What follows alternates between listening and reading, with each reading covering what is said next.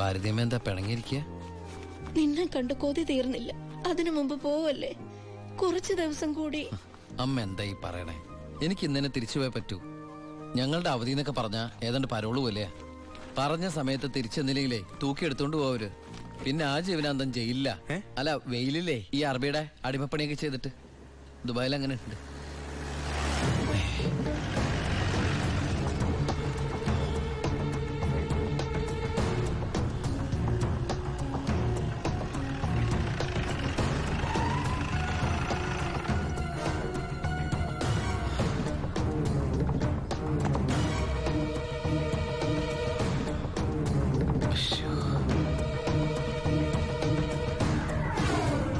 ഏട്ടൻ എന്താ പതുങ്ങി നോക്കുന്നത്? പോലീസ്.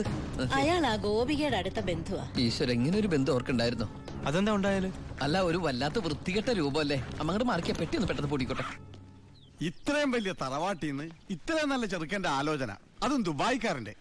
വല്യേട്ടൻ ഫോൺ ചെയ്ത് പറഞ്ഞപ്പോ നിന്റെ ഭാഗ്യായിട്ടാ ഞാൻ കരുതിയത്. എന്നിട്ടിപ്പോ നിന്റെ ഭാഗത്ത് നിന്ന് കല്യാണം വേണ്ടാന്ന് പറയാൻ എന്താ കാരണം? ഇനി നിനക്ക് ആരോടെങ്കിലും പ്രേമം പറ്റുകൊണ്ടോടി പിന്നെന്താ പ്രശ്നം? വല്യേട്ടന് എന്തെങ്കിലും സംഭവിച്ച പിന്നെ നിനക്ക് ആരാ ഉള്ളത്? നീ എതിരൊന്നും പറയണ്ട. ഇത് നിന്റെ ഭാഗ്യമായിട്ട് കരുതിയാ മതി. ആ. വല്യേട്ടനാണെങ്കിൽ ഉറപ്പിച്ചോ. ബാക്കി ഞാൻ ഏറ്റു. എന്തായാലും ചെറുക്കൻ പോണ ദിവസം വന്നത് നന്നായി. ഉണ്ണിയൊന്ന് കാണാലോ. വല്യേട്ടാ ഞാനൊന്ന് ഉണ്ണിയെ പരിചയപ്പെട്ടിട്ട് വരാം.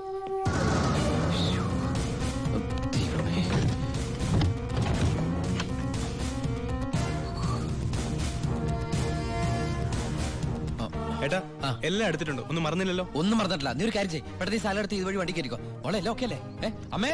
ആ സമയമായി അമ്മേ അമ്മ ഞാൻ ഇറങ്ങട്ടോ എന്തേത് ഇത്? ഇത്തിരി അച്ചാറും പലഹാരങ്ങളും. എന്റെ അമ്മ ഈ സാധനങ്ങളൊന്നും അങ്ങോട്ട് കൊണ്ടാൻ പറ്റില്ല. അവിടുന്ന് തരുന്ന ഫുഡല്ലേ കഴിക്കാൻ പറ്റുള്ളൂ. ഭയങ്കര സ്ട്രിക്റ്റ് അല്ലേ?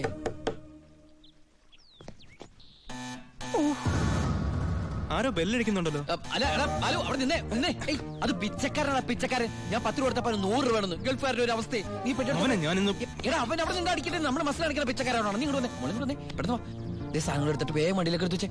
ആ. അമ്മേ. ആ. ആളനക്കം ഇല്ലല്ലോ. ചിലപ്പോ എയർപോർട്ടിൽ പോയി കാണും. ആ. എങ്കി അടുത്ത പ്രാവശ്യം വരുമ്പോ കാണാം. പോട്ടെ. ആ. ഫ്രണ്ട് സീറ്റ് വെക്കണേ വേഗം എടുത്ത് വെക്കേ.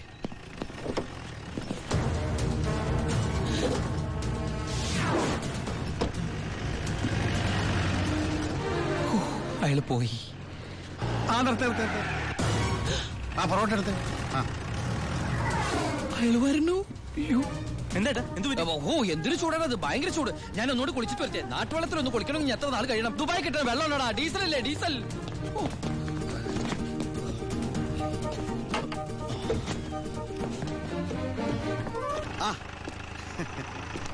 ഞാൻ വിചാരിച്ചു പോയി കാണുമെന്ന്.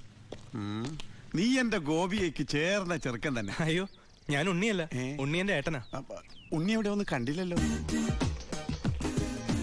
ഉണ്ണിയേട്ടാ എന്താടാ? ഒരാൾ കാണാൻ വന്നിരിക്കുന്നു. അയ്യോ ഈ സമയത്താ. ഉണ്ണി കുളിക്കല്ലേ? ആ, ആ കുളിച്ചോണ്ടിരിക്കുക ആരാടത്? ദിവാകരൻ അപ്പുറത്തെ വീട്ടിലെ ഗോപിയുടെ കൊച്ചച്ഛൻ. ഭാവിയിൽ ഉണ്ണിയുടെ ഒരു ബന്ധുവായിട്ട് വരും. ജയിലറാ. അതെയാ? ആ ഒന്ന് മുഖം കാണിക്കാൻ വേണ്ടി വന്നതാ. മുഖം കാണിക്കാൻ ഞാനെന്താ രാജാവാ? ഓ ഫലിതപ്രിയൻ. നമ്മൾ തമ്മിൽ കാണേണ്ട കാര്യം പറഞ്ഞത്. ഞാൻ കണ്ടിട്ടുണ്ട്. എവിടെ വെച്ച്? ഞാൻ സോപ്പ് വെച്ചോണ്ടിരിക്ക അതുകൊണ്ട് കേട്ടത് മാറിപ്പോയതാ. വരുന്ന വഴിക്ക് കണ്ടുന്ന്. ഓ അങ്ങനെ. ഓ പിന്നെ പോയിട്ട് ഇത്ര ധൃതി ഉണ്ടായിരുന്നു. പന്ത്രണ്ട് മുപ്പതിനാ ട്രെയിൻ പെട്ടെന്ന് ഇറങ്ങുമാവോ ഏയ് വൈകും വൈകും. ട്രെയിൻ മിസ്സാക്കണ്ട വേഗം പുറപ്പെട്ടോളൂ. നമുക്ക് നാളെ അവിടെ വെച്ച് കാണാം. അവിടെ വെച്ചോ? നാളെ? എവിടെ വെച്ച്? സോപ്പ് വാഴി പോയതായിട്ട് പറഞ്ഞത് മാറി പോയതാ. അടുത്ത പരവിന് ഇവിടെ വെച്ച് കാണാമെന്ന് ആ ശരി ശരി. എങ്കിൽ ഞാൻ ഇറങ്ങുന്നു. ആ ഇങ്ങോട്ടെന്ന് വെച്ച പൊക്കോളൂ? ഞാൻ ഈ ഗ്ലാസ് എടുത്തോട്ടെ? ഗ്ലാസ്സാ ഗ്ലാസ്സിലെ ചായ കളഞ്ഞിട്ട് അമ്മയോട് വെച്ചിട്ട് എടുത്തോളൂ.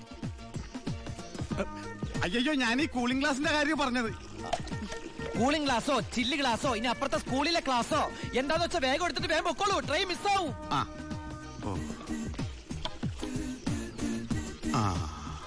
ഇനി ദുബായിക്കാരന്റെ വീട്ടിൽ വന്നിട്ട് ഒന്നും തന്നില്ല എന്ന് വേണ്ട. അപ്പോ ഞാനങ്ങോട്ട് ബൈ ബൈ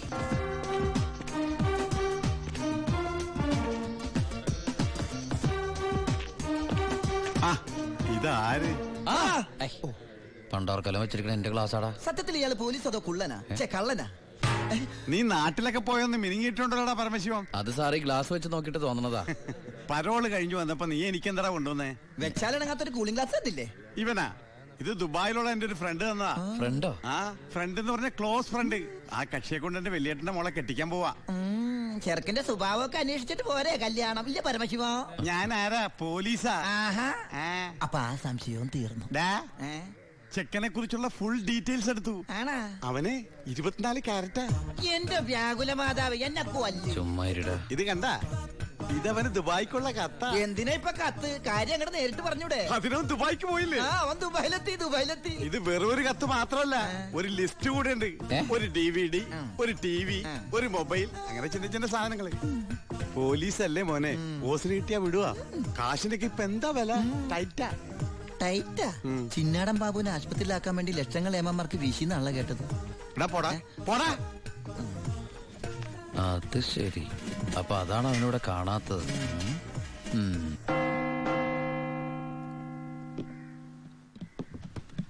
സാറേ? എന്താടാ? വാ. നീ എവിടേക്കാ? എഞ്ചാടാ? എനിക്കൊരു രഹസ്യം പറയാനുണ്ടായിരുന്നു. ഞാനിപ്പോ പരോളിന് നാട്ടിൽ പോയി അതെ വിജിലൻസ് ആൻഡ് ആന്റി കറപ്ഷൻ ഡിപ്പാർട്ട്മെന്റിലുള്ള എന്റെ ഒരു സുഹൃത്തിനെ ഞാൻ കണ്ടു. ആൾ പറയാ ജയിലിൽ നടക്കുന്ന അഴിമതികളെ കുറിച്ച് അന്വേഷിക്കാനായിട്ട് അവർ രഹസ്യമായിട്ട് ഒരു സ്ക്വാഡിനെ ഇവിടെ ഇറക്കിയിട്ടുണ്ടെന്ന്. ഇവിടെ? ആ. കള്ളത്തരത്തിൽ ചിലരെ ആശുപത്രി കിടത്താൻ കൂട്ടി നിൽക്കുന്നവരൊക്കെ പിടിച്ച് അകത്തിടും അത്രേ? അങ്ങനെ എന്തെങ്കിലും ഉണ്ടെങ്കിൽ സാറ് സൂക്ഷിക്കണം കേട്ടോ. അയ്യോ. ആ പിന്നെ ഞാനിത് പറഞ്ഞു ആരോടും പറയരുത്. നമ്മുടെ ഡോക്ടറുടെയും സൂപ്രണ്ട് സാറിന്റെയും പണി പോകുന്ന എനിക്കിത് കാണണം. അവർ കുറച്ചു നാൾ തിന്നട്ടേന്നുണ്ടാ എന്താ സാർ? ഉണ്ടെങ്ങോട്ട് പോയതാ? ആരെ? ഒന്നുമില്ല.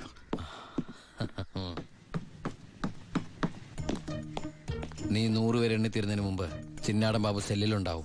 ഹാ, ചുമ്മാ എണ്ണടോ. ഒന്ന് ആ. രണ്ട് മൂന്ന്. സത്യമാണോടു അതെ സാർ.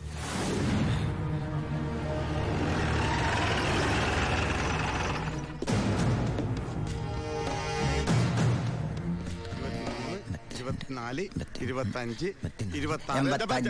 എന്താ കണക്ക് കിട്ടിക്കുന്ന? ഇത് വേറെ കണക്കാണ് സാറേ. ഈ എന്റെ കണക്ക് തെറ്റി. ഞാൻ എവിടെ നിർത്തിയത്? നീ നിർത്തിയതല്ല എൺപത്തി അഞ്ച് മുതൽ ഞാൻ ഇവിടെ ഞാൻ എവിടെ നിർത്തിയത്? സാർ ഇരുപത്തഞ്ച്. ആ ഇരുപത്തിയേഴ് ഇരുപത്തെട്ട് തൊണ്ണൂറ്റി അഞ്ച്. തൊണ്ണൂറ്റി ആറ്. തൊണ്ണൂറ്റി ഏഴ് തൊണ്ണൂറ്റി എട്ട് തൊണ്ണൂറ്റി ഒമ്പത് നൂറ്. ആ, വന്നല്ലോ, വനമാല. ഹായ്. ഇത് എവിടെയായിരുന്നു? എവിടേക്ക് അന്വേഷിച്ചെന്നറിയാമോ? പത്രത്തിൽ കൊടുക്കാൻ പോയതാ. എന്താടാ? നീ സൂക്ഷിച്ചോ. ഓ. എടാ ചിന്നടാ. വാളയാർ പരമശിവത്തിന് സെൻട്രൽ ജയിലിനുള്ളിൽ കാശറിയേണ്ട കാര്യമില്ല നിന്നിവിടെ തിരിച്ചെത്തിക്കാൻ. ബുദ്ധിമതി വെറും ബുദ്ധി. നീയല്ലേ പറഞ്ഞത്? എന്നെ ഇവിടെ ഇട്ട് കൊല്ലൂന്ന്?